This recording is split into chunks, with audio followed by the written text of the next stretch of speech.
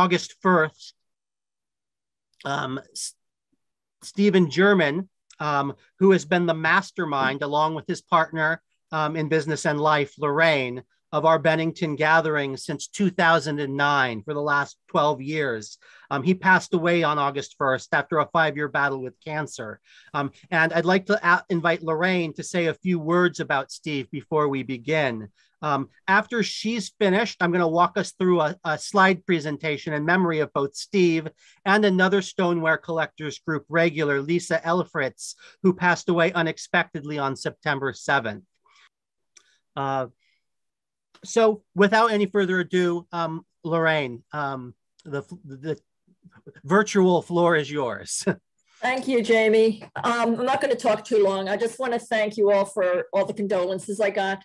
I got a tremendous amount of support, not only from the stoneware group, but from the antiques community in general.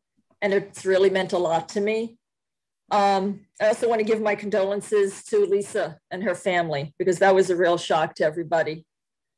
Uh, Steve and I love putting these stoneware events together, and I know he'd be really happy to know that there are others like Kevin and um, all the others, um, Warren Broderick and John and everybody else who's shown an interest in um, taking up where we left off. And even though I don't have the energy to um, do it anymore, I'm definitely going to show up at the next one in um, May so I can see you all and I'll be setting up um, selling stoneware again.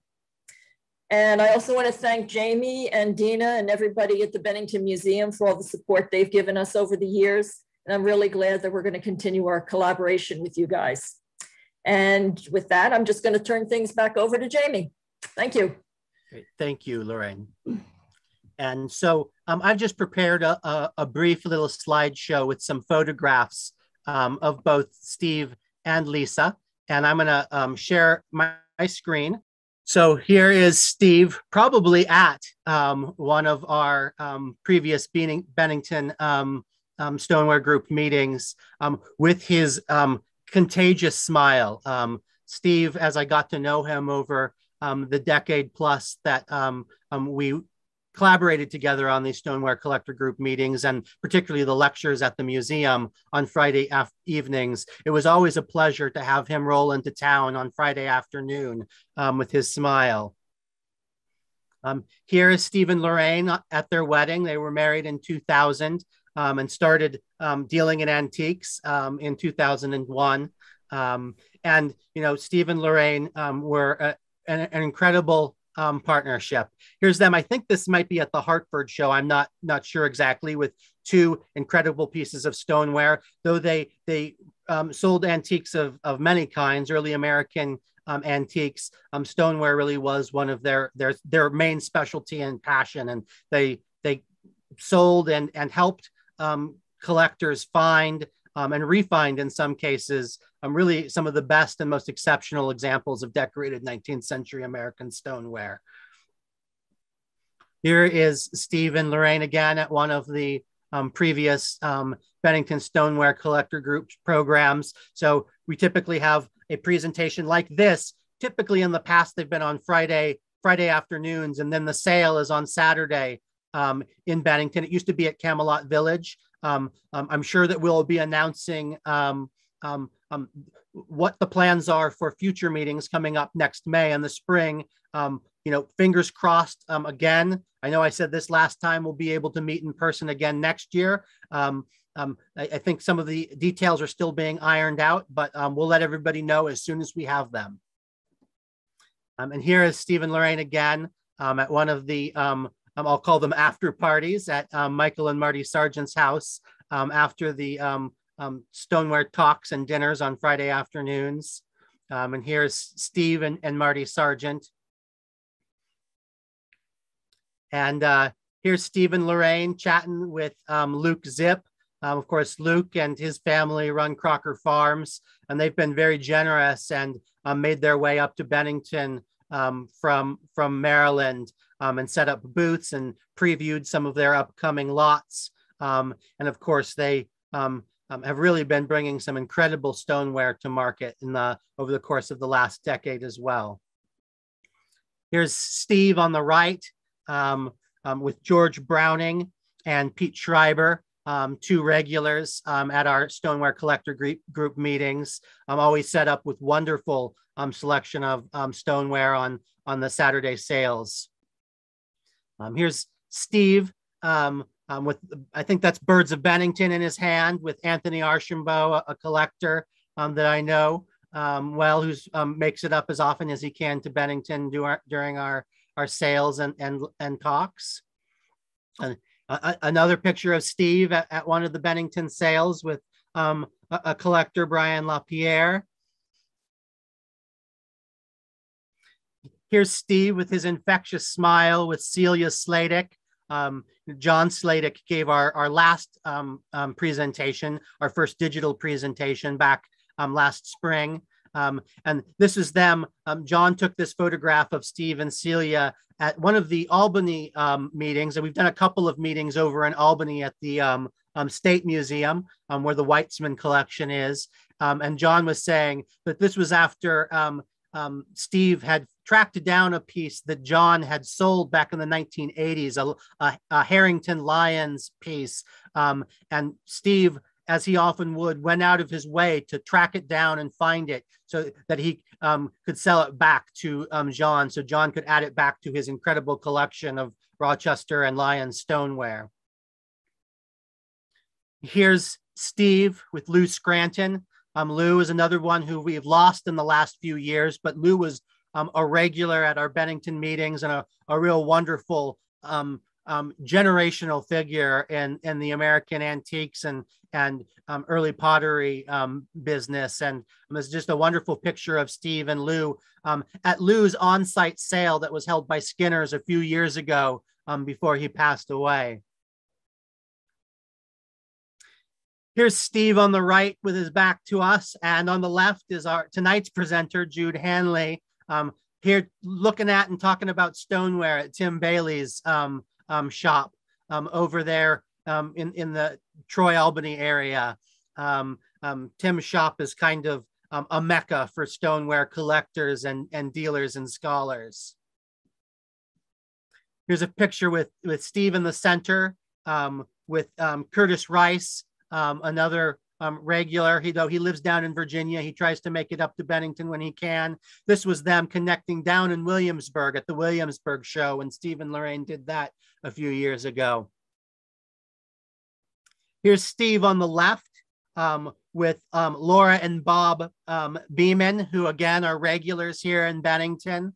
Um, those infectious smiles. It's one of the things that I love about um, this stoneware collectors group is um, we, we've I forged friendships with many of these people as as many of us have, and it's kind of like a a, a, a family to many of us. Here's a photo with Steve's back center left with Charlie Flint, um, another Bennington regular. I'm taking some of his friends out to, to lunch down there in, in Northwestern Connecticut. And here's Steve um, again with the stoneware that he loved so much. Um, I don't know which show this was. This might have been Hartford a couple of years ago. And as we mentioned, um, we also lost Lisa Elfritz unexpectedly um, just about a, a, week, week and a half ago. Um, and here is her holding what I think was at the time um, a world record for stoneware, which was sold down at Crocker Farms in 2014, if I remember correctly. Um, a wonderful upstate New York piece with um, um, four Civil War um, soldiers on it. Here's Lisa with a, a wonderful um, roulette decorated Cushman, Paul Cushman picture. Lisa was known for her love of early stoneware pictures and had many in her collection. And then finally, here's a wonderful picture of Lisa on the left with Tim Bailey on the right, um, with with a piece they called the Brown um, um, Star Jug. Um, I know this has a story connected to it, and maybe if Tim or somebody else who knows it wants to share it in the chat. Um, but we really um, will miss Steve, certainly, um, who played such an important role over the course of the last half dozen years um, in bringing these stoneware collectors groups meetings together in Bennington, and Lisa as well, who was an active member both in Bennington and, and more generally in the stoneware collectors world. And we will miss them both. So we just wanted to honor and remember them um, before today's program. Now, I would like to um, introduce our presenter um, this evening. Our presenter is Jude Hanley. Um, Jude likes to joke that his new book is coming out someday. Um, meanwhile, for the last 10 years, he's been researching the local potteries of Troy, Lansingburgh, and Albany in an attempt to retrieve as much lost history um, as he can. Jude is an art teacher um, going into his 29th year with the North Colonie Central School District. Um, he earned his BFA from Alfred University um, and uh, an MS in education from Boston University and the College of St. Rose. Jude has recently given talks on stoneware, stoneware at the Lansingburgh Historical Society, um, the Monroe Clay Works, and the Bennington Museum at one of our previous um, stoneware collector groups meetings. Today, um, Jude will be discussing George Lent and Sons, Born in 1774, George Lent was one of the most influential early American potters. Um, he spent time working in Cornwall, Albany, Troy, Poughkeepsie, and Lansingburgh, New York. Along the way, he would help define the upstate New York style that prevailed over the first half of the 19th century. Jude is with us live tonight, but for logistical purposes, he's pre recorded his presentation. Um, we will play that um, video, and after it's done, um, we will invite people to ask questions they might have, and Jude can answer them in person. And with that, um, I will begin the pre-recorded presentation. Hello, my name is Jude Hanley, and I'll be talking about the potter George Lent, best known for his work in Troy and Lansingburgh. And I'll be sharing as much of my research as I can with you uh, for this presentation. Uh, before I begin, I do want to start uh, acknowledging some indispensable resources should you want to go further. Uh, William Ketchum's Potters and Potteries of New York State. Uh, probably own this if you're watching this presentation. The, the, New York Stoneware Bible. Uh, if you're focused on the capital region like I am, for Albany and Troy and its surrounding areas, uh, Bill Bouck and Warren Broderick wrote Potteries. Pottery Works, I'm sorry, Pottery Works. Potteries of New York State's Capital District and Upper Hudson region. And just fantastic book. Uh, very in depth on Albany, Troy, and so forth. So must have. Uh, if you're interested in Poughkeepsie, Poughkeepsie Potters and the Plague by George Lukacs. Uh, reads beautifully. Uh, really a fun book to read good sense of humor, and pictures you won't see anywhere else. And uh, we also have Lelyn Branin's The Early Makers of Handcrafted Earthenware and Stoneware in Central and Southern New Jersey. Right. I wouldn't say it's a great title, but fantastic book. And if you want to start to understand New Jersey, like I'm trying to do, uh, great thing to have. And uh, one other great book, which I don't have my copy with me, I actually lent it to a friend, uh, The Cornwall Potters of Orange County, New York by Chester Faber. Uh, he's done, uh, like I've done with Lent, he has researched the Cornwall potteries uh, to the best they can be. And I do hope his book comes gets out in print again because it is fantastic. So let's begin with uh, George Lent beginning. George Lent begins uh, his life. He's born into New Jersey, where uh, we know it's on January 2nd, 1774, thanks to a sampler that was made by uh, his youngest daughter, Eliza Ann. Uh, she sewed the names of the family members, where they were born, and so forth. Uh, so we know that he's born in New Jersey, 1774. And we also know he gets married to a woman named Elizabeth Dean. The Deans are a big family in New Jersey. Dean was born in New York. I'm going to guess in Westchester County, where there are a lot of Lents. Uh, so anyway, they get together. And the first time George is going to show up on a piece of paper is in Poughkeepsie, uh, at the Dutch Reformed Church, in their records, it shows that they had their youngest son, John. He was born on August 10th, and he was baptized in the church on September 25th.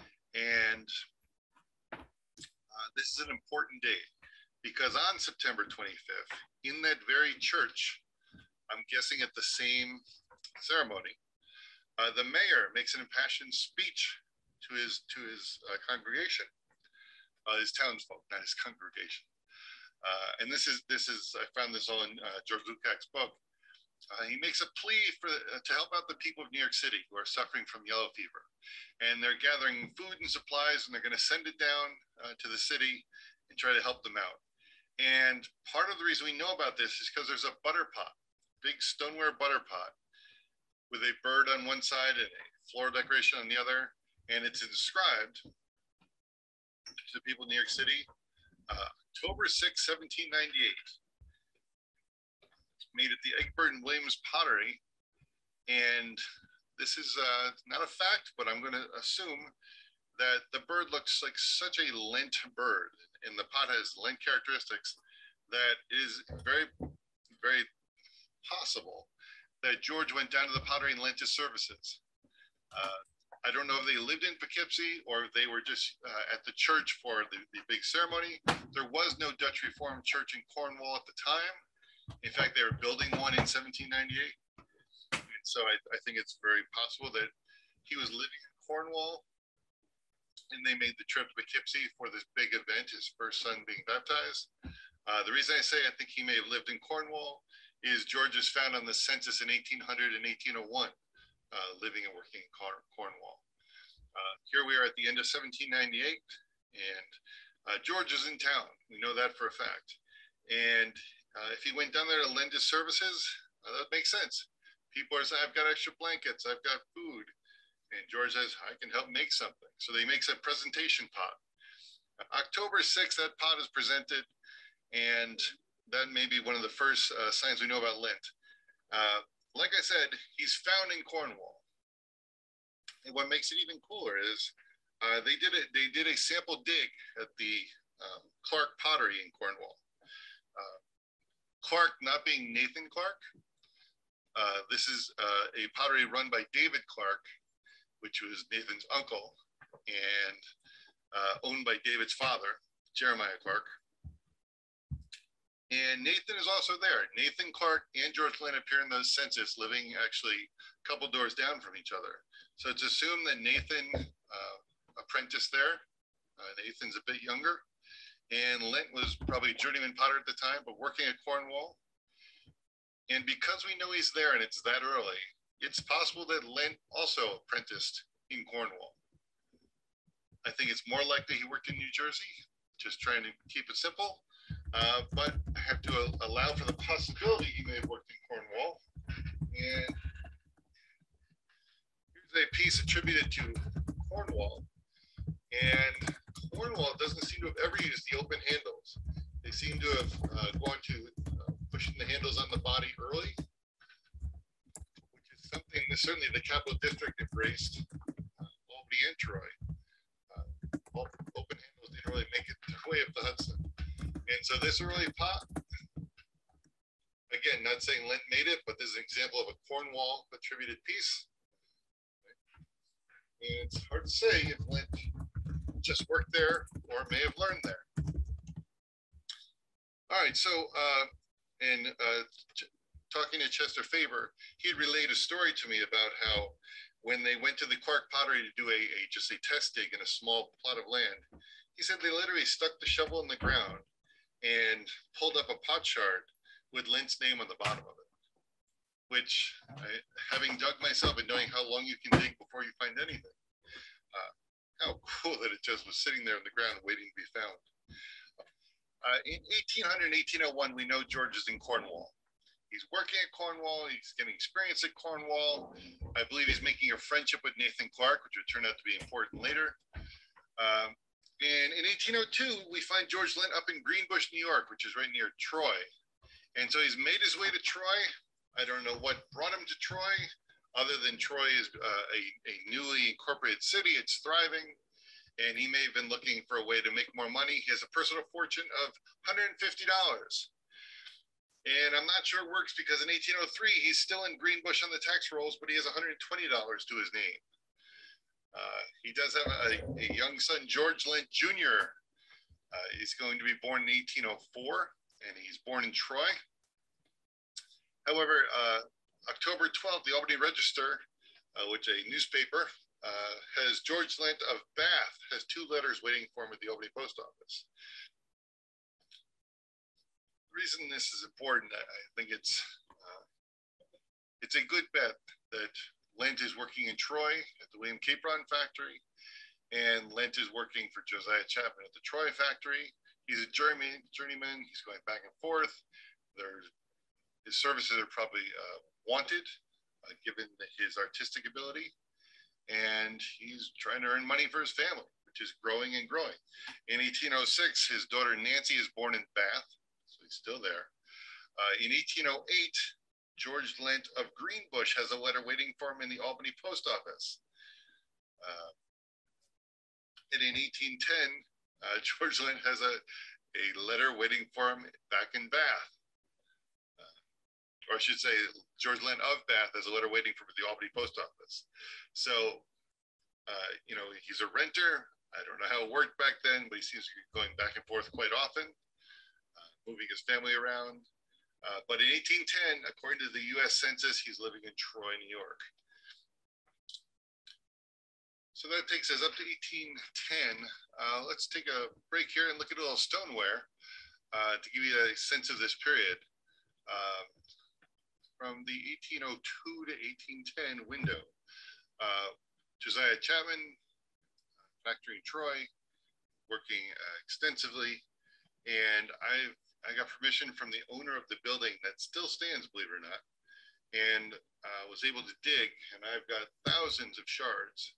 Uh, some of the, the, more interesting pieces uh, are these medallions that you've seen probably attributed other places, and I can't say they weren't done there, but the sun face is certainly done in Troy. Uh, the four hearts decoration Uh, this flower, which I've only found on one jug so far, it's probably out there. Uh, it's interesting. It's like sizing from the top of a jug. Uh, looks like some kind of a fishtail.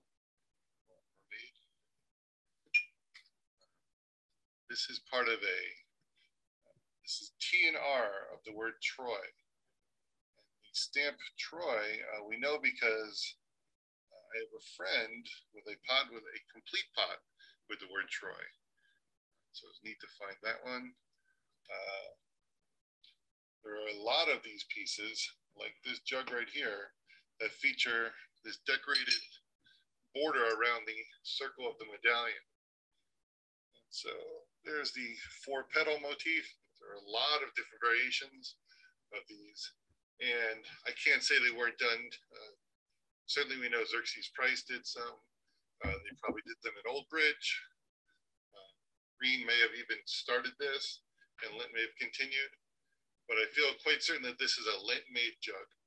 Uh, it's got the four petal medallion. It's got a Lent style handle. Whether Lent made, these are not, uh, we often refer to this as the Lent style, where uh, small handle plugged into the base. Tim Bailey calls it the plugged in handle. There's not a lot of swooshing around the outsides. It's very clean, right? Dressed up with a little bit of cobalt, right? And often the fluted uh, edge. And one of the things that has become a Lent uh, trademark, certainly, uh, is this single line around the, uh, getting away from the, the reeded neck and the, the multiple toolings around there. Uh, Lent whether he invented it or learned it at Cornwall, Poughkeepsie. However he came about it, he really took to the single line, which becomes kind of the dominant style in stoneware. But he's doing it back in 1805, 18, 1808, 1810, maybe as late as 1815. Right? Uh, and we know this all came from the Chapman factory because I was lucky enough to find uh, an incredibly rare part of a stamp of the Chapman factory stamp. Uh, Tim Bailey had one of the three known marked pieces uh, in his shop for a long time. We were able to compare, and it is in fact that is the MAN of Chapman. And this was found right among all the other pieces. That's just some of the many, many shards that I've uh, found, but that gives you an idea of the time period. Now, one other really important part of the time period up here in Troy and Albany is, especially in the earlier pieces, not just the handle pushed up against the body. You do see that with Warren and other people, uh, but this this plastering it on the side, taking the thumbs and pushing it and really mushing it against there. In the earliest Albany and Troy pieces, that seems to be a real common thing. And it gets refined and you see less and less of this as time goes on. But the early pieces, uh, they don't seem to really put a lot of aesthetic into the handles. And I think uh, that was just ensuring they were going to stay on. I'm sure it was a lot faster than dealing with the drying times and the, the waiting on the open handles, right? And so this piece is actually done in an Albany slip on the outside. Uh, don't know, I couldn't say for sure if this is uh, either uh, Capron or Cushman or Chapman, but it's definitely an early piece. And Like to thank Dave Braden for coming up with this piece. All right, so that's the early period. And we're moving on. And the reason we're moving on is 1813. We're going to jump ahead a little bit that's when uh, gets his own place. He, he's going to uh, start his own stoneware factory. And uh, as uh, the documents show, he does it on uh, land that was leased by Josiah Chapman back in 1808. 1813, uh, Lent is working on his own. He's got an advertisement in the newspaper, and he's letting people know that he's making stoneware. In 1815 and 1816, he's uh, the fire warden of Troy, which I think is a type of honor, from what I can tell. And in 1816, uh, the Boynton brothers have started their stoneware factory in Troy. Uh, I'm sorry, in Albany. And uh, George Lent is stepping it up. And I think all of stoneware is starting to become more popular. It's starting to sell, right? 1816 is also when Seymour, uh, Israel Seymour, uh, takes control of the Chapman factory. Chapman, I, am convinced was not a potter. Uh, I think he was a bit of a shady business person. And Chapman kind of disappears from Troy, uh, ends up down in Pennsylvania. And Seymour asserts control. Uh, he likely bought the pottery from Chapman. And so uh, it is, it's thought that Seymour and Lent went head to head. In fact, uh, Lent buys the building across the street from the Chapman factory, opens up a store and warehouse to sell his work. His pottery itself is a couple uh, blocks down from the Chapman factory. A fact that he advertises in his advertisement uh, in the newspaper and makes me think that they weren't so much competing as working together somehow. I don't know that you would mention your competitor if you were trying to sell your ware. Uh, so you've got Lent and, and Israel Seymour selling a lot of stoneware out of their places. And that's where you're going to see something like my only marked Lent. Uh, finding a marked Lent is a really challenging thing. And the most interesting thing about this one is it's not interesting. this is the only marked George Lent I've ever seen, uh, internet included, with no decoration on it clearly he was he was a decorator uh, at heart. Uh, but this is a very rare piece in that it's just a plain jug. It's got your Lent plugged handle. It's got your single line around the spout. It's marked George Lent Troy, G Lent Troy actually. And there's nothing else distinguishable about it. Uh, Lent has lost the foot whether it was just a sign of the times or something he never cared for when he was working for Chapman. Right? But there is a George Lent jug representing the 1813.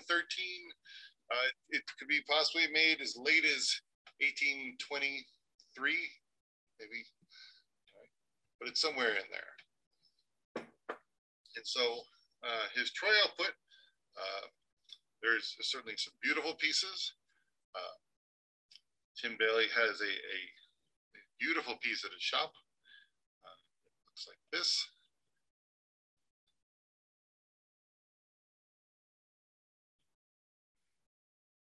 And so while Lent is in business in Troy, 1813 to 1823, uh, stoneware is on the rise the whole time.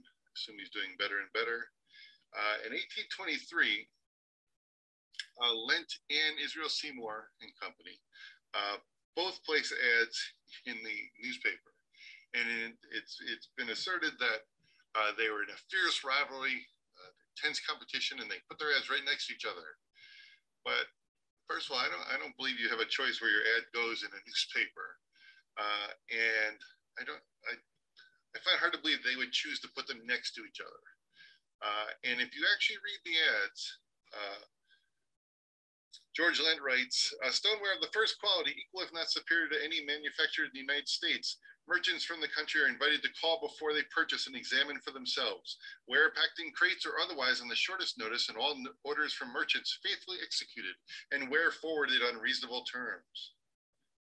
Well, Israel Seymour and company, uh, if he was truly in uh, direct competition, probably would not have said that their stoneware factory is extensively in operation and have on hand a large assortment of ware of the first quality, equal if not superior to any manufactured in the United States. Merchants from the country are invited to call before they purchase and examine for themselves.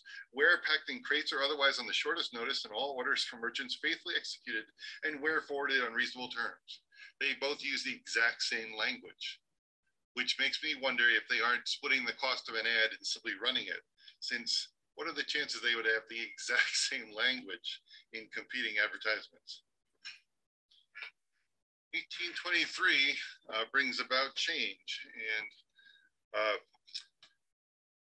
there's a lot of things going on in 1823. William Nichols, uh, the Poughkeepsie potter, who was working with Dorelli Williams for a time, uh, in May of 1823, he starts his own factory, starts marking ware William Nichols. And in September of 1823, Nichols uh, tragically is an accident and died. And uh, to help out the family, Nathan Clark, who uh, Nichols had apprenticed under, uh, he's going to, to take care of the pottery and sell it and help out uh, the family. And so Nathan Clark sells it to a, a Poughkeepsie uh, merchant, William Reynolds. Well, William Reynolds is not a potter. And somehow William Reynolds uh, gets in contact with George Lent. And George Lent's going to agree to buy half that pottery and work in Poughkeepsie. Now, a really interesting part of this story. So it is on February 10th that William Reynolds uh, actually buys the Nichols pottery, 1824. And on February 25th, Lent sells his pottery on Hill Street to William Lundy and Ron, Russell Ellsworth. So there must have been quick communication, and uh, Reynolds no more than owns the pottery than George Lent's uh, ready to, to join this. And skip ahead now to August 24th, 1824, and I find this angry letter uh, in the National Advocate newspaper. Uh, the passengers of the Olive, Olive Branch steamboat are furious over this event that happened on the river that uh, the, a boat called the Chancellor was coming down. It didn't give way, and they were forced into the rocks. And uh, they, these passengers insist their captain did nothing wrong, and they want to make it clear that what the Chancellor did was was horrible. And they list the passengers on the boat, and who is on the boat but George Lent, Benjamin Lent, his son, and Sylvester Nichols. Now, Sylvester Nichols uh, is a relation of William Nichols, and was kind of a right hand business partner with Nathan Clark. So it sounds like Nichols is uh, escorting uh, the Lents, or somehow they're working together. And Sure enough, this boat was going from Albany to Poughkeepsie. The chance of this letter being there with these people on board is just a stroke of luck, but it indicates that there was this working relationship and that Nichols, uh, working for Clark likely, was seeking out the Lents and interact, uh, trying to attract them to the, to the uh, location. Part of me wonders if George Lent wasn't trying to set up his son Benjamin Lent, another potter, who has been working down in New Jersey and is back home.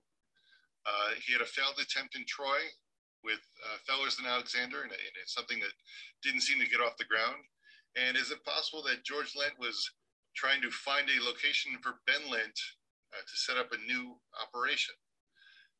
And so, you know, I, I'm I'm guessing a bit here, but the fact that they're on this boat and they're going to Poughkeepsie is just amazing. And uh, when Lent does finally buy a half interest of the pottery from Reynolds on November 2nd, um, George Lukács talks about how George Lent is referred to as if he's already been a town resident for a time.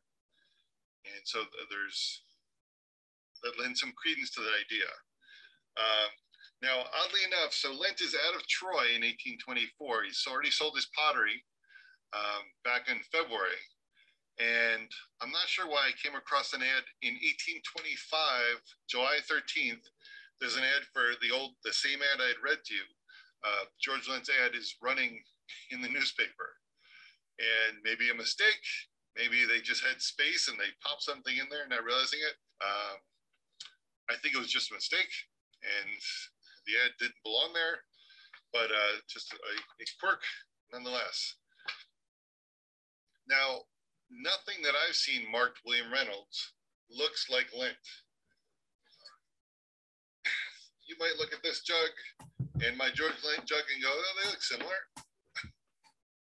and they certainly do from that standpoint, right? But the lip is done a bit different.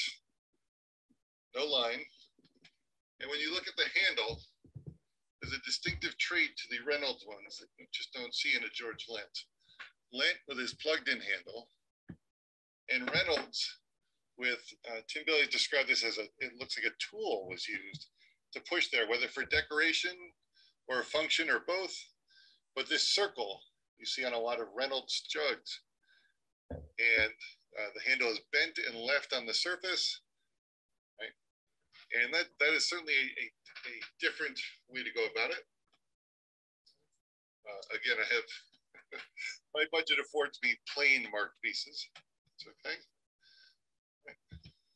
But whatever goes on there and whoever's making that stuff, it doesn't last long. And uh, I, I have yet to see any decoration of, of, a William Reynolds that even looks complex. Uh, they're, they're relatively simple. Uh, and so uh, suddenly uh, there's an opening uh, back upstate in Lansingburgh because the Lansingburgh redware potter, John Haggerty, passes away. Lansingburgh didn't have any stoneware going on, uh, but John Haggerty had been there since 1795 or earlier. And uh, when Haggerty dies on July 18th, in record time, jo- Lent has decided um, I'm going back. And Lent sells his interest in the Reynolds pot- pottery on July 25th. I've got to think that Lent was aware of Haggerty's health, may have been aware that he doesn't have a lot of time left, because in a day and age without uh, email, that seems like an awfully quick turnaround to find out someone's past and decide to go back to a town. Uh, on August 10th, Lent buys Haggerty's property. On October 1st, Lent buys two lots uh, in town, uh, two blocks away from the property, where he's going to eventually set up his uh, shop. He actually he buys uh, Haggerty's kiln and never uses it. And whether that was just the redware kiln was insufficient or he didn't want competition, he was just getting it out of there, uh, but nothing is ever done with the Haggerty property. Uh, George has another daughter, uh, Nancy, and she marries John Haggerty's son on October 4th. So I'm guessing Lent had a relationship with the Haggerty prop, uh, family that goes back a ways. before uh, George Lucas discovered this whole Lent connection with Poughkeepsie, it was thought that Lent simply went from Troy to Lansingburgh. Between him trying to find a place for Ben Lent to set up and him moving over uh, to assume uh, being a stoneware potter in Lansingburgh, it's unclear, but it's interesting. The timing of things makes one think that uh, Lent was very aware of the whole situation.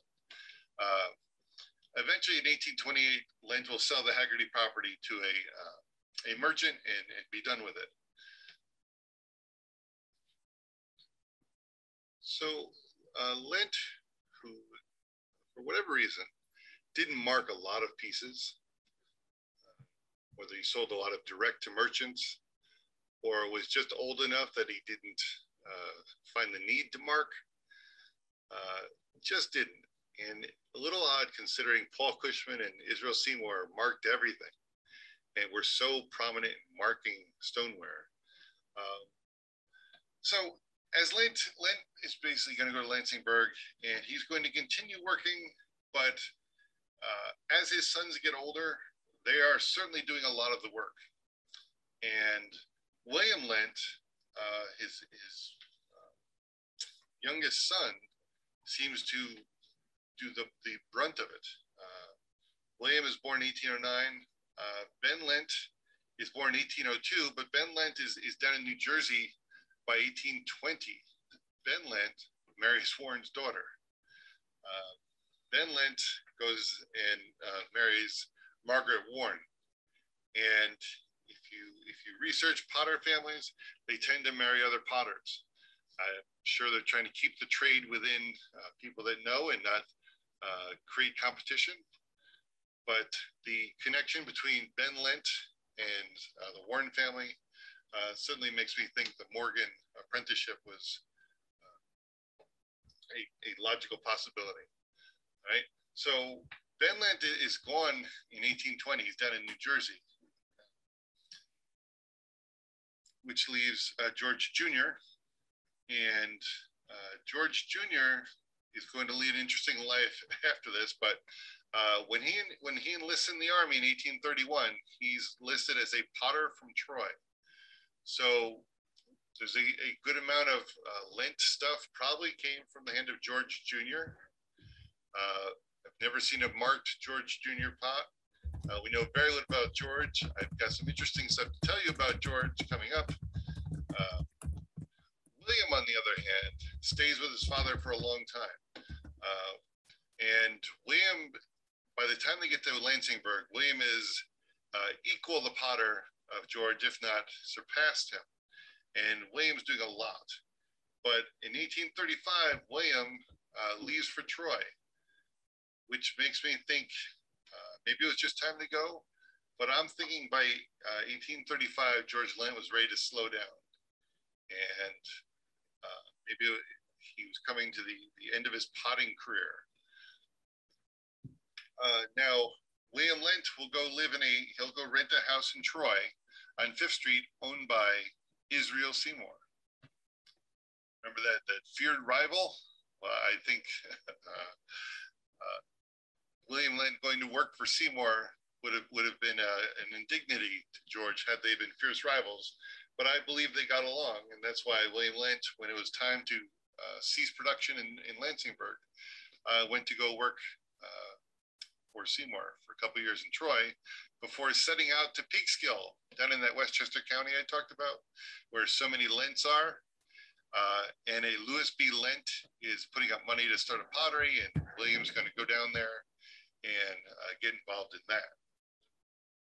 Now, in 1840, the federal census says that George and his wife are living with a, a uh, white female between the ages of 20 and 29. That would be Eliza Ann. And uh, Eliza was born in 1815. And it says Lent is listed as a person employed in manufacturing trade. So it's possible he's still working, maybe just uh, working part time in summers or so forth. Uh, but he also uh, appears to be lent, uh, renting out his kiln because we know that an Eliezer Orcutt is going to rent the kiln in 1843, uh, and maybe he started earlier. Uh, the reason we know that is he puts an ad in the paper in 1843, uh, but he could have been working there uh, sooner. And it's a Eliezer Orcutt and Company. Lent is thought to be the partner, uh, whether he co-owns the partner or just letting him use his uh, facilities. Right, but Orcutt is going to be active uh, until 1847 uh, when he's found in Bennington, Vermont. And so George Lent uh, several times tries to sell his uh, buildings. Uh, it's as early as 1845, he's got an ad trying to sell the buildings and his property. Uh, and in 1850, Lent is going to die. he's listed as dying of consumption in Lansingburgh at age 76. According to uh, the 1850 census, says that uh, Lent had been ill for two years prior. So Orcutt leaving 1847 may have coincided with Lent uh, being ill and closing the whole thing down. Uh, when they read the will, Benjamin Lent's name is not even mentioned, which tells me that Ben Lent is probably uh, deceased. And George Lent Jr., it, it states that uh, whereabouts cannot be ascertained. Uh, and so whether George Lent Jr. is alive in 1850 is, is unknown at this point. Uh, but uh, I'll finish this reading uh, the notice in the newspaper. It says, sudden death. We regret to announce the sudden demise of Mr. George Lent. For many years, a useful citizen of this village, he expired at his residence on Saturday morning last, after an illness of a few hours. The day previous, he was in the street, although complaining at the time of an ailing of his throat. On Friday night, he was taken worse, when the disease assumed the form of croup, which terminated his life before daylight. He retained his consciousness to the last and was perfectly resigned to his fate. He was about 70 years old. And the, the loving way it was written tells me he was a well liked member of the community. All right, although uh, George had four sons, uh, I, I, don't believe his oldest son, John, made it past uh, infancy or or uh, young age. Uh, there's never been anything uh, to mention him beyond that. And by the 1810 census, it doesn't seem to allow for John to be there. So I'm going to assume that he didn't live beyond a couple of years, which gives us Benjamin, George Jr., and William. And Benjamin, uh, I think he was a bit of a scoundrel. Uh, so let's go through Benjamin first. Uh, he's born in 1802, and he marries a Margaret Warren of South Amboy, New Jersey. Uh, says they're married in Troy in 1820 by Reverend Summers, uh, and that would make uh, George only 18. And they do have a, a bunch of kids. In 1820, uh, ben Lent is on the North Brunswick Township, New Jersey tax rolls, likely working at Old Bridge, uh, at the Morgan and Van Wickle Pottery, uh, where Branch Green is down there. In the early days, uh, Branch Green is by now is in Philadelphia, but could be part of that relationship uh, with Lent, Morgan, Green, so forth. Right, but he's uh, working down in Old Bridge for a short time. Uh, appears on the 1822 tax rolls down there. And in 1823, he's back up in Troy. So whether it didn't work or he's just looking for better work, and he tries to start a, a uh, short-lived venture with Alexander Allen and Henry Fellers. And uh, the thought, uh, Warren Broderick uh, suggests that it didn't even get off the ground. They might have made a test piece or two, but there is a piece marked, uh, but they, it, the thought is that they didn't even uh, ever uh, get it off the ground. And the funny thing is, uh, when they announced that this pottery isn't going to work in the Lansingburgh newspaper, uh, it says the, the firm of Fellers and Allen Lent uh, is mutually dissolved, and which was very common in the day. They would, they would announce it in the newspaper. Well, Ben Lent takes an advertisement underneath it to let people know that it was not mutually dissolved, right? Uh, it says, in fact, Uh, let's see, Ben Lent takes out his own act on February 16th to state the partnership was not mutually dissolved, nor has there been any such understanding between parties. So Ben Lent is not happy at all that it didn't work out and uh, wants everyone to know about it. Willing to pay money to let people know that. Uh, that said, he sold the rights to uh, that pottery that didn't work out for $10 to Fellers. Uh, in 1825, Ben Lent turns up working at the, uh, it was the Warren and Letts pottery. Uh, after that, moved on is owned by James Morgan's granddaughter, Catherine Brown. So there's that Morgan connection again with Ben. In 1826, he's still working there. In fact, they have a shard that is dated 1826, made by B. Lent. And in 1827, they think he's still there because they've also found a shard marked 1827, made by B. Uh, what luck. So uh, he's, he's there for a while. In 1828, 1829, he's going to try his own thing in Caldwell, New Jersey. And that's where I'm get this big guy. Thank Bill Turnbull for this one. Ben Lynch, who is a great potter. Yeah. He may not be a lot of things, but he is a great potter. It's just a beautiful form incredibly smooth, right? And this is marked Ben Lent, B. Lent, Caldwell, New Jersey. Sit that right there. One big jug. And uh, for whatever reason, it doesn't work out, but these few Caldwell pieces I've seen are beautiful pieces. So it wasn't a quality issue, it wasn't a stoneware issue, uh, perhaps a business issue. And uh, in 1830, he shows up in the South Amboy uh, census, so working at the potteries there. Uh, in 1831, the family moves to Sodus, New York, which I had never heard of until this. Uh, it's out um, kind of Rochester way, out in the western part of the state, northwestern part of the state. And uh, I was reading in a, in a paper that Margaret Warren had a lot of family in the Sodus area. And so they may have given up on the stoneware idea and just said, we're going to, you know, try something else and moved out to Sodus. I don't think he ever started a pottery out in Sodus. And uh, in several things I read, they thought that was when he, him and Margaret Warren uh, split up and he went his own ways. However, I found that I don't think so because in 1836, James M. Lent is born in Troy to the parents, Benjamin Lent and Margaret Warren. So somehow the whole family ended up back in Troy, and uh, they're obviously together. Now, 1836 is a big time. Because that would be the one time when I could explain where this was made.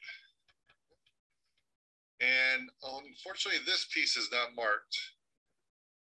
But in the Albany Institute of History and Art, there is a jug with this exact decoration, exact, marked made by B&W Lent, Lansingburgh.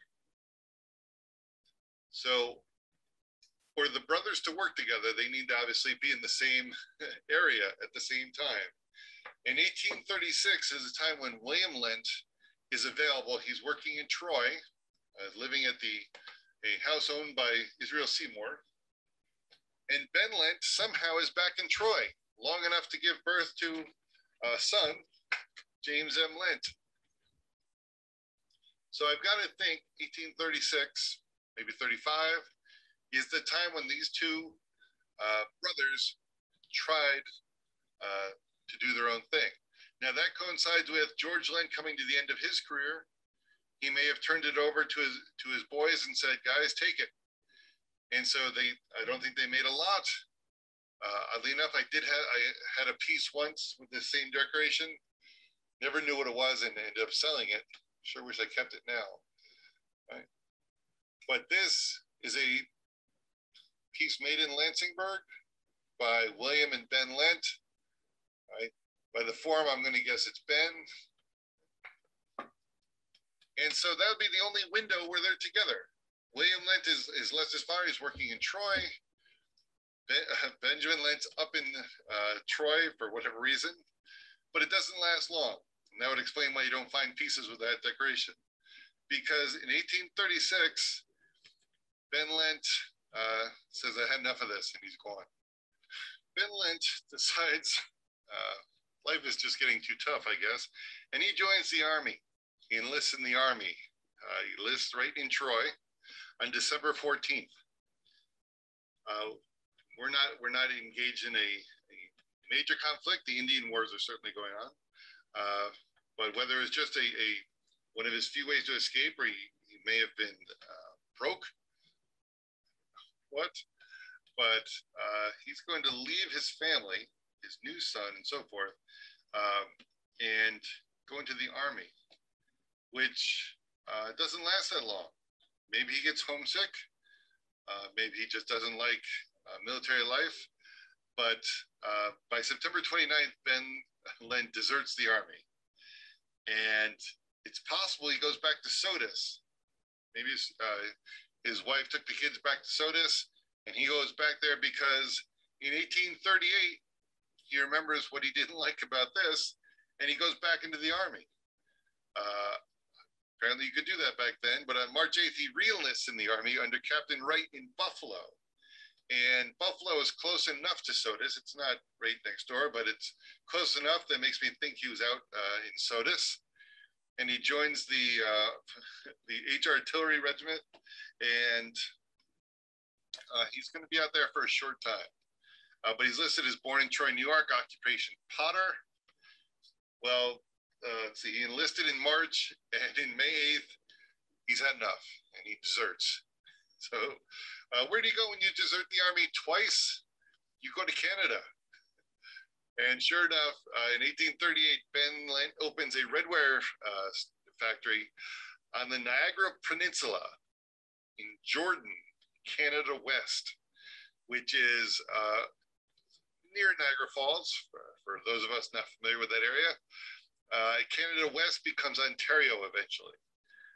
And in fact, Ben Lent doesn't just open up a new factory, uh, he finds a new wife. And he marries a Marianne Bratt in St. Catherine's Cathedral in Ontario.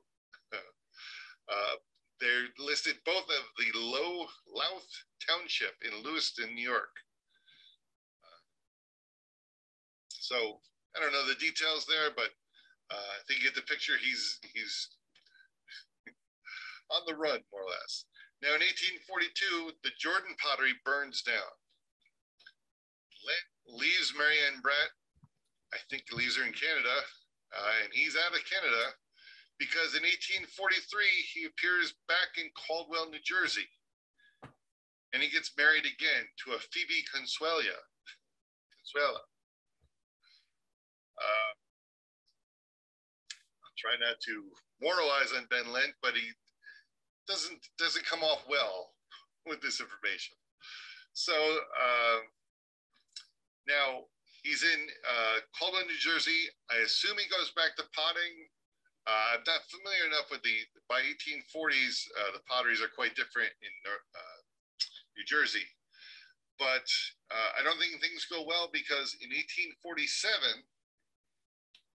Ben Lent is in uh, associated with John Gregory and D.W. Graves, uh, they tried to open a stoneware factory in Clinton, New York.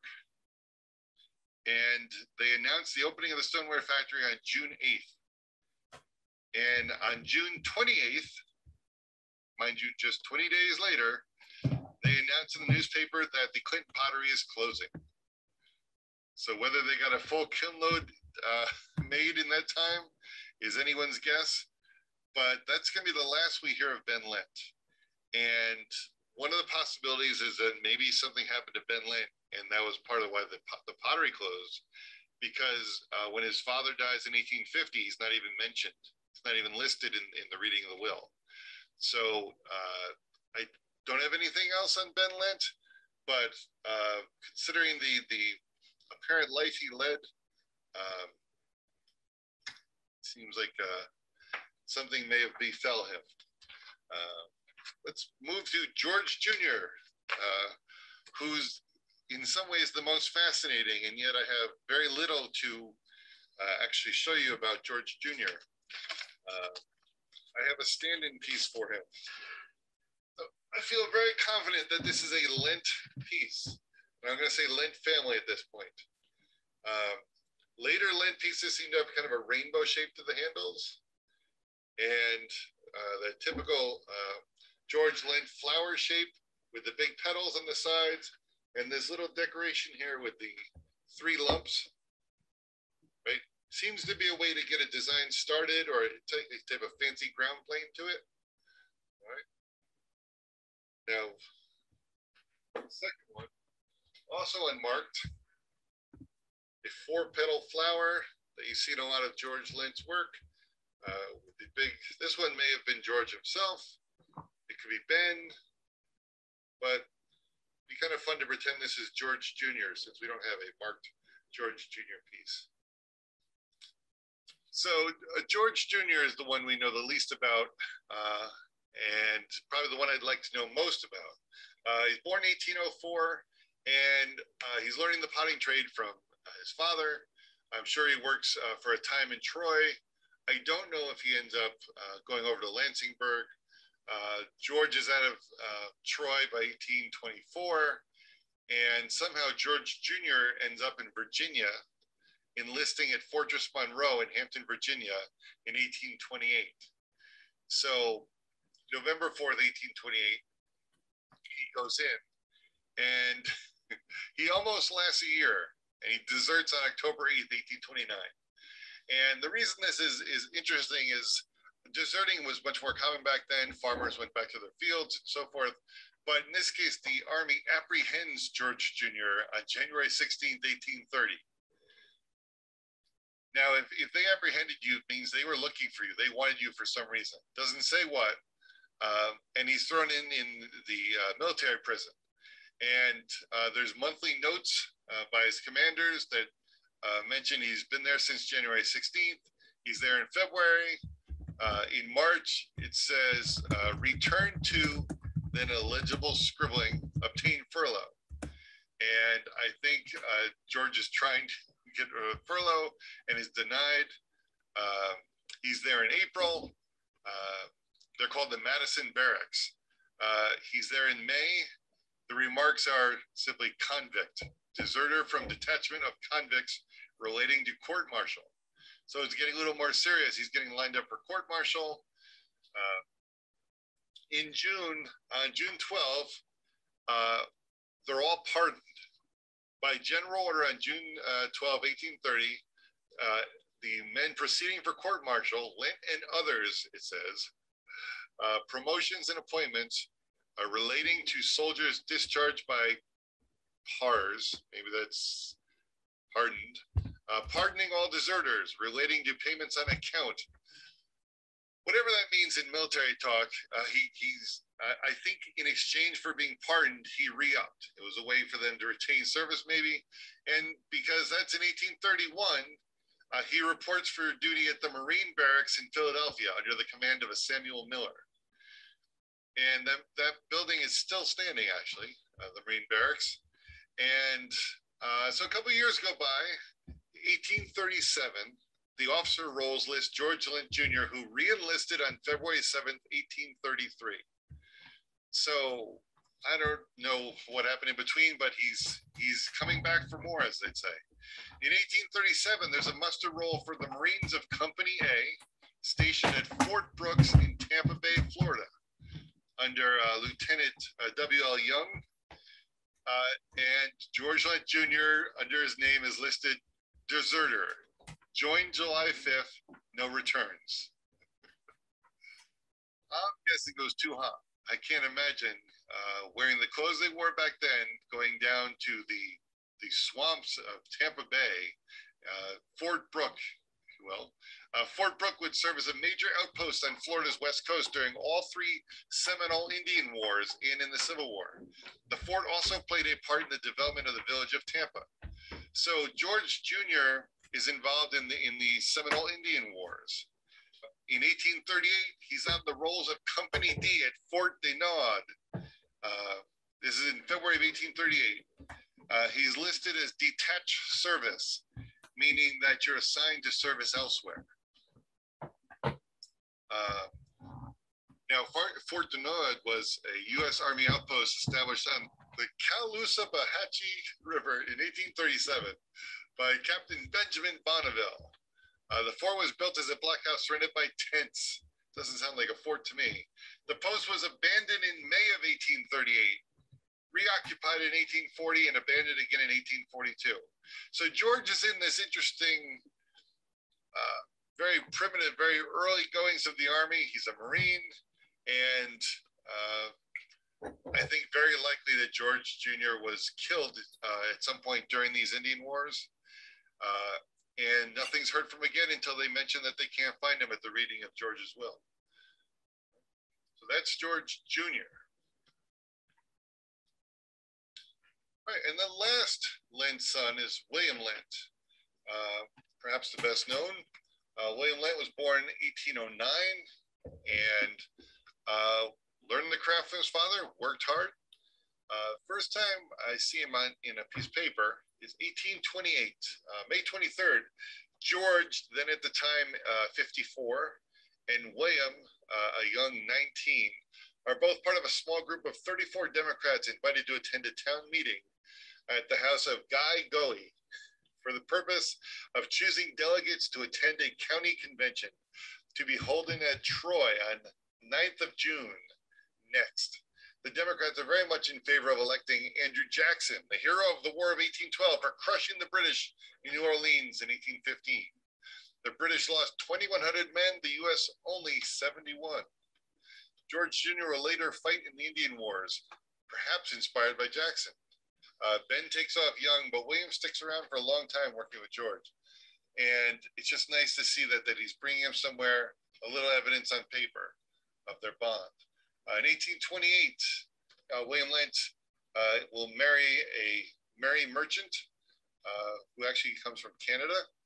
I don't think there's any connection eventually with Ben Lent. Uh, it says they're both from Lansingburgh at the time, but Mary Merchant's mother is from Canada. Uh, in 1830, William is living in Lansingburgh officially to the US Census. 1836 is when Lent moves at Troy, which tells me in 1835 uh, George Lent is done potting. William Lent moves to Troy, uh, living at the home owned by Israel Seymour. Right, that's when they may have attempted the the uh, B&W pottery, and uh, in 1839, it still lists William Lent as a potter living at the same place in Troy, uh, and likely working for Seymour. So there's probably three or four years in there where there's some Seymours made by William Lent by 1841, uh, William Lent is in Peekskill. Uh, Peekskill is down, uh, if you go south down the Hudson. Uh, it's a little bit above New York City. And uh, that's where William is going to work as a potter in his own. And this is marked William Lent, Peekskill. And a relatively simple decoration not as fluid as this one, which tells me this is probably Ben, but you can see the similarity. Very close. And so uh, it's possible that William worked for uh, Samuel Hurd at a Peaks in Peekskill earlier. He may have been down there in 1840, maybe 39, working for Hurd. And then he's going to partner with Lewis B. Lent, a uh, a guy with money down in Westchester, uh, and uh, their their uh, partnership's going to last for a short time. Uh, Lewis B. Lent's going to go manage a circus in 1847, and Lent does partner with uh, a, a, someone named Simonson. I don't know much about that. Uh, it's possible Lewis B. Lent sold his shares to Simonson. Uh, but that whole thing lasts for a couple years, almost a decade uh, until uh, William Lent decides to leave, uh, uproots, and moves to Ellenville, New York, where he's going to be uh, a, a, potter, maybe the main potter for Daniel Weston. Uh, Weston's brothers just headed out to Pennsylvania, and William Lent is brought in to uh, work in Ellenville. it's going to work out quite well. and he's going to be in Ellenville for a, a better part of 25 years.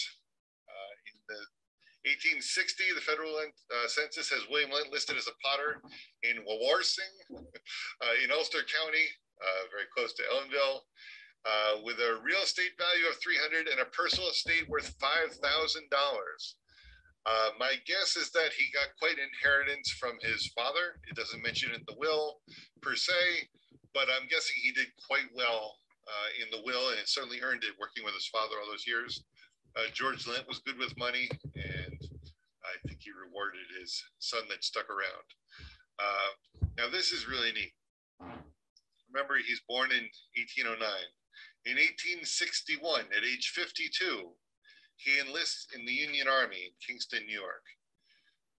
He's commissioned as an officer, likely because he uh, was a man of stature and had money, and he enters the Army in the rank of captain of Company E of the New York 20th Infantry, of the New York State Militia, uh, nicknamed the Ulster Guard. Uh, well, the, the Ulster Guard gets um, told that you're not just the Ulster Guard, you're uh, part of the Union Army and you're headed uh, down to Washington, D.C. And so they muster out on August 2nd, 1861, in the heat of the summer. Uh, his unit uh, sees battle down south. And he comes back six months later and uh, is discharged, honorable discharge. Uh, unlike his brothers, didn't didn't uh, run out, uh, and he's referred to as, as Captain Lent uh, for the the uh, remainder of his life. the unit itself served honorably. they saw quite a bit of battle, and he comes back and he goes back to working at the pottery, which must have been something else. And he works there till 1875 he retires from the Weston Pottery in 1878. William Lent dies at the young age of uh, 69. I don't know whether he was sustained injuries uh, in battle or not, but he passes away at age 69. And uh, William, the the, uh, the, good son of George Lent, if you will, um, left quite a legacy of, pieces at uh, relative number of peak, uh, Peekskill pieces, but lots of Ellenville pieces. I don't think he was a decorator in Ellenville. Uh, I do think he was a potter, uh, but Ellenville has very distinctive uh, decorations, and uh, he oversaw a very, very successful pottery. So that's a quick run through through George Lent and his three sons. Well, thank you, Jude. Anybody has any questions for Jude? Um, I will ask you to keep your sound off unless you want to speak up and ask a question. Um, if you'd prefer to just um, put questions in the chat box, we can convey those to Jude. Um, otherwise, um, um, we'll we'll open the floor to questions. Jude, I'd like to ask you where that where his pottery was, where you dug up that shard. Uh, it's right on the corner of Fourth and Ferry in Troy, and amazingly, the building is still intact. wow, wow, that's amazing. Yeah, I, I, literally I just walked over and asked. I found the owner. He he owns a bar a couple of streets over, and I just asked him, "Would you mind if I dug?" And he said, "Yeah, I don't care." Wow. and I spent the next two years digging every chance I got. Fantastic, fantastic. This is my first Zoom meeting, so I really don't know what I'm doing with this. And Betty's trying to coach me in with it, so bear with me. well done. I have a question for Jude, if I could. Sure. Jude, it's John. That was uh, tremendous, and your your uh, historical uh, digging, so to speak, is exceptional. Let me follow up on Kevin's question though, because mm-hmm. I had a question. You know, when you said you had found thousands of shards, what why do you think there are so many? I mean, I came up with a couple, three ideas. One was, you know, bad pottery, and they just broke it, uh, or um, maybe on Friday after a few beers they got into a fight, you know, or or you know what, what why do you why do you think that might be, Jude? So uh, many. I think it's a great question. I've seen you know other potteries with their their waster piles. I can't imagine they drop that many pieces. Uh, it, maybe you know uh, accidents in the kiln with all the stacking is a, certainly a possibility. Uh, my other thought was because of where I found it all, it's in an alleyway right next to the uh, pottery. It's always been an alleyway. As far back on the maps as I could find, it's always been this small alley. And maybe all of that refuse was put there as a way of um, kind of like a primitive way to pave the alleyway from all the mud and so forth. So it, it may have had a, it was, it's, there's rarely I found a shard that's bigger than maybe two or three inches. So it tells me it's been crushed over the years and years. Um, but how they, how, why the pottery would have all the shards? uh, you know, my only guess, I guess if you knocked over one stack, you end up with a lot of shards. You know, um, but it's a great question because, you know, stoneware doesn't break that easy. There, there normally is a uh, 10 to 15 percent breakage with doing stoneware. It's just something you can't help. Oh, Um, Jer- Jerry tried to get it down to five percent when he was firing um, in York, Maine. Even at Norton, we have just using clay, uh, making grinding wheels. It's the same thing. We could never get it below five percent. Five percent was always a reject um, figure. And I'm sure, and with the old kilns, it was a lot higher. Sure. Oh, that's a perfect answer then. I have I've seen in the Norton pile that I got to pick when they were digging the street, there was a ton of the smaller jugs, and it seemed like the smaller jugs took a hit. Um, I never found one intact. I just found the tops and the and the handles. Right. Uh, but something you don't see a lot of either is the smaller pieces. Yeah. Hmm. That that's that's bothered me ever since I started digging, and that's fantastic to, to hear such a, a reasonable explanation. Yeah, I, I haven't done a lot of digging at sites, but you know, I have done some surface looking at um, Jonathan Fenton's early um, Dorset Hollow site, 1800 to 1810. So it hasn't. It was only in service for 10 years. Um, it hasn't been in service for uh, for 210 years, and it, the, the ground was still covered. Um, so y- they, they did have a lot of loss. Mm. And I can only imagine how many people just walked by and picked up a shard here and there over the 200 years it's been sitting there. You know, it's it's basically an alleyway that people used to cut through the streets. So I'm sure if something caught someone's eye, they picked it up over time. And yet I still, I, I must have 10,000 shards in boxes. wow. From the day when I started digging, I kept everything and then I just kept it up and kept it up. And pretty soon I regretted that philosophy, but I, I had a, I had a question, Jude. Um, first, first, I wanted to thank you for such an incredible presentation and such uh, detailed work. It's completely inspiring, especially on the early material, which is hard to uh, uh, get, um, harder to find records the earlier it is. But I, I had a question about the medallions. Mhm. Um, I have seen them associated with various New Jersey potteries, especially the Morgan pottery. And I think Sims, on some of the Sims excavations, there are examples of those Mhm. that he attributes. I'm wondering if those are uh, measured exactly the same or whether you've looked to compare to see if they're just similar. the Or only maybe, one- or maybe whether those stamps traveled up and down the Hudson. Right. Um, the only one that uh, Tim Bailey has measured the four hearts from a piece that was was felt to be a New Jersey piece and from a Troy piece, and they did measure about a quarter inch difference, which is beyond the. Uh, and Kevin, correct me if I'm wrong, but it's kind of beyond the expected shrinkage of clay. Um, certainly, when you stamp it, is going to affect how much it would move. Um, but the the common denominator there is Branch Green, who uh, precedes Lent but is there at the same time also. And I'm sure if Green was using them up in Troy, that he introduced them down in, in uh, Old Bridge. Uh, certainly because other than that, Branch Green seems to use the same roulette on everything. Uh, makes me think he's not a decorator and a stamp is such a perfect, you know, way to get around that. Uh, but, you know, separating uh, I found, I think, three shards of one complete sun face and two uh, partial. And the sun face, which is such a, um, a well-known, I think, uh, medallion uh, that's always attributed in New Jersey. Uh, it's just a matter of, you know, getting this information out there and, and uh, explaining it. But then you have to factor in trade and, you know, Ben Lent going back and forth. And there's so much, you know, common uh, ancestry there that I think it's pretty easy to either have several stamps or travel with it. You know.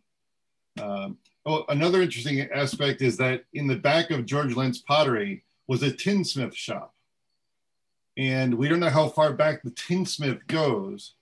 Um, but Tim and I were um, were ruminating that maybe George Lent also was a tinsmith. I mean, it's so hard to to know because these guys did so many things themselves. Um, but you know, the medallions could be a, a lifetime study in itself. You know, there's so many little variations, and until you can get them all in the same room and do just what you're saying, measure them and really see if they're really as similar as they look. You know, um, I found one. Uh, I found a fish, and every time I find a fish medallion picture, I'm comparing it, and it's never the same exact fish, even though it looks like it at first. And you compare, it's like, oh, it's a little bit different here and there. So, um, yeah, so many, you know, and the, and the idea that you could stamp it and then maybe take a needle tool and adjust it or change it, you know. Thank uh, you. Appreciate that. Thank you. Jude, we have a couple of um, questions here in the chat. Um, I'll just um, read them out here in, in order. So hmm. Sylvia Lovegren asked, is there any chance that there's an undiscovered privy at that site? Um, I would assume it, there has to be one somewhere. Um, unfortunately, the back side uh, was paved at one time and it sat un, unused for so long that it then regrew a dirt layer and weeds. And to get through the back half of the lot would be really difficult. But I, I've always been told they keep the privy as far downwind as they can from the, the dwelling. Um, so I have an idea where it might be. It's just, uh, you know, honestly, should the city ever decide to dig up that area, I'll be the first one watching every, you know, shovelful coming out of the ground. Um, who knows what's still in there? I've only dug the unpaved areas, you know, that I could. And part of what preserved what I did um, dig up was the, the meat market. There's a pork store there for 80 years, and they that was the, where their cooler sat. And so the cooler more or less protected that site for all that time. And when the new owner had it removed, it exposed that whole area.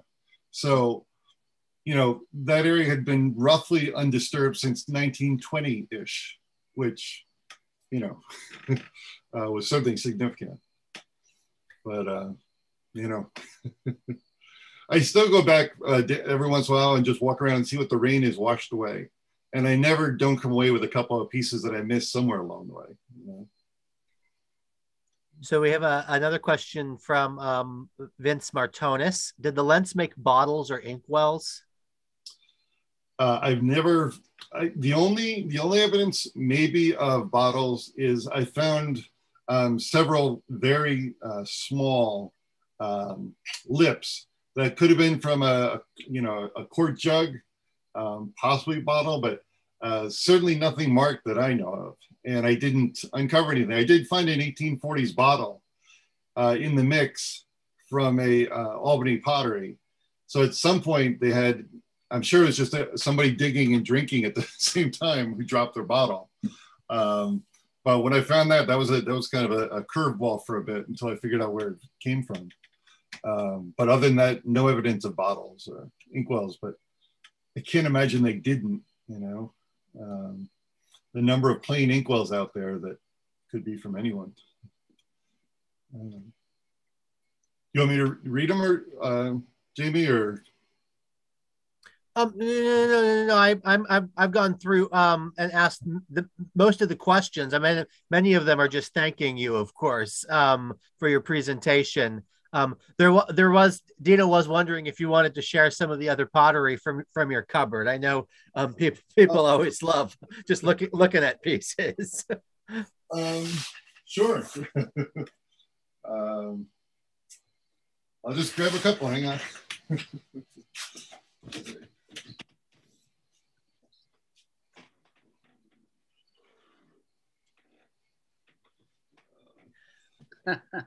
do this quick. Some, somebody somebody who didn't change their name, I, I should say. It wasn't what wasn't the real Dina. I had to turn on my camera to figure out which I was because there's so many Deannas, you're not sure which one is you.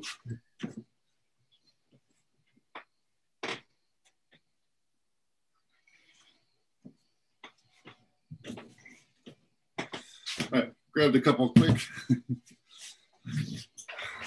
Um, so I know people like a story with it.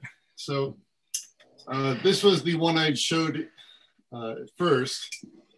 I happen to have two of the same medallion. and the handles are similar, not, not exactly the same, but consistent. You know, I don't think any two pieces of stoneware are ever exactly the same, right?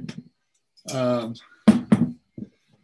but the notable thing is the little bit of cobalt here, and then the splash and mess of cobalt. And it's those little things that you can obsess over. Is it a different potter?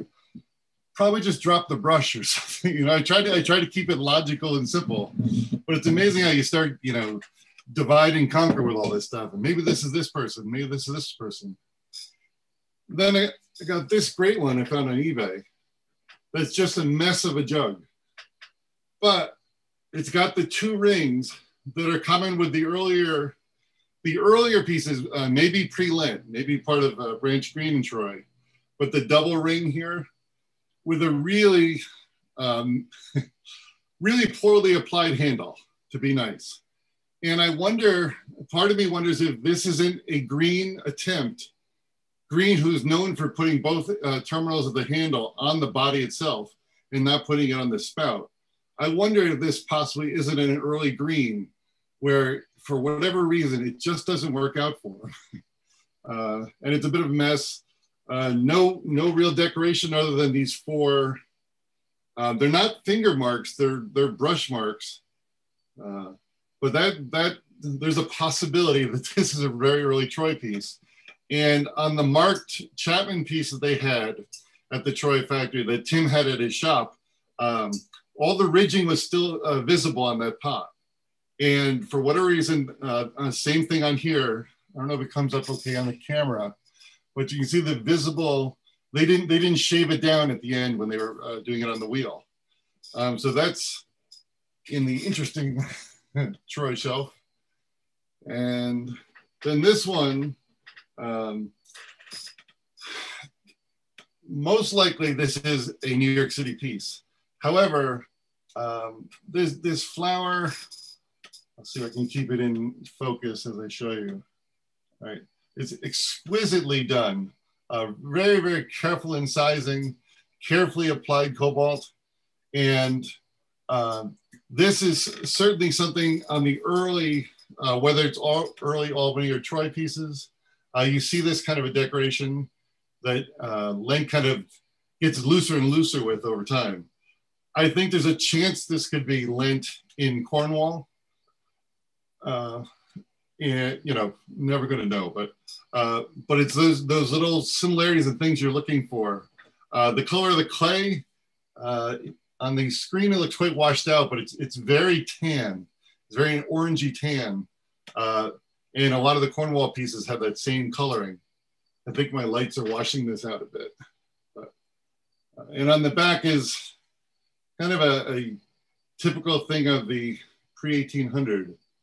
Um, not sure what that is intended to be other than maybe just decorative. But. Does that have a liner glaze inside, an Albany liner? Uh, it doesn't. Um, it's it's very chipped up inside, and uh, there, there's no Albany glaze. It's it's a little dark from from exposure, uh, but it's very chipped up. Oddly enough, so I can't imagine they were mixing a lot of things in it. Um, maybe there was an attempt to put something in and it all chipped off. You know, just just fell off. Uh, but it doesn't have any um, any evidence. Uh, it's in fact it's um, I'd almost call it like a black, like more of a burn to it than a, uh, you know, Albany slip. Um, and then uh, this one uh, came from the Dan Brune collection, um, who is who's, from what I can tell, the best Mid Hudson Valley collector out there. Uh, he recently put a lot of stuff up at auction. I was lucky to come away with this one, and um, it's just unrefined enough to to in my opinion seem out of the city whereas new york city stuff seems so precise and and so experienced um, I, I, I just adore this bowl it's got the open handles. Um, they're not they're not way out there, but they are separated from the body. And I recently came across an image that makes me think that this is a tobacco leaf. Um, I don't know how you really store tobacco back then, or now for that matter, but um, I, I, saw an advertisement with a single leaf like that. And I've seen this on several things. There's an ST brewer that's on the internet you see a lot. Uh, I think that's a tobacco leaf. So maybe for drying or something, but that one has no slip either. Uh, it's a little brownish from, from you know being in the kiln, but no slip applied certainly. Um, and knowing that Lent and and Darrell Williams was down there too, another uh, big potter. But knowing Lent in that Cornwall area in that in those early days, I'm always trying to you know try to find something to to link it all together, and you just end up with more questions I think than than answers. Um, but it sure is fun looking for them. You know. Um, is there anything you see that you'd like to see? Um, well,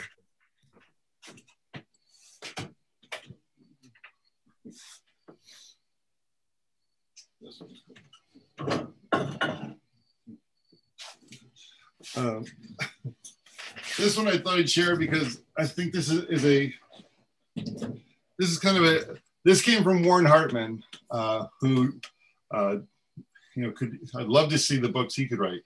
Um, this is an early Helen Clark pot. Uh, when Nathan Clark first started out in Athens, uh, he's 1806 to 1811, and this real playful decoration that disappears quickly. And I think it's because this is actual Nathan Clark made piece. And uh, by the time he gets busy in his in his running uh, busy pottery, you see a lot of these uh, traits go away.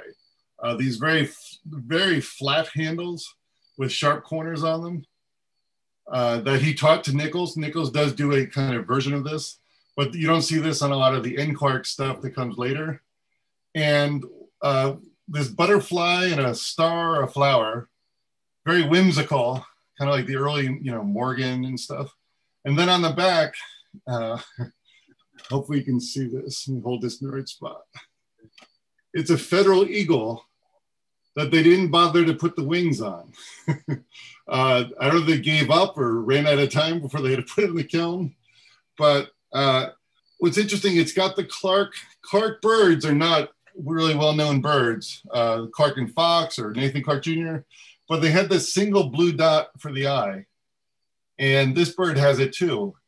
And I don't, I don't have, you know, it's just a dot. There's not a lot of different ways to make an eyeball, but it, it's reminiscent of a Clark bird, despite the uh, very interesting subject matter for a Clark.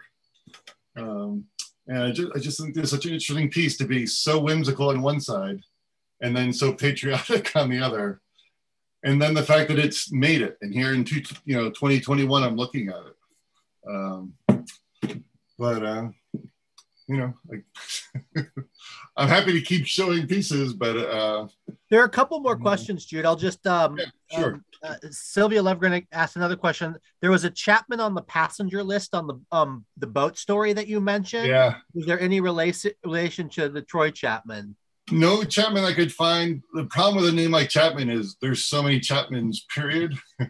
that I bet there wasn't a boat that didn't have a Chapman on it. Um, it's it's kind of like when you're trying to uh, chase Nathan Clark and everyone's named Clark. um, I, I, hunted down what I could uh, and uh, nothing to, to tie it in.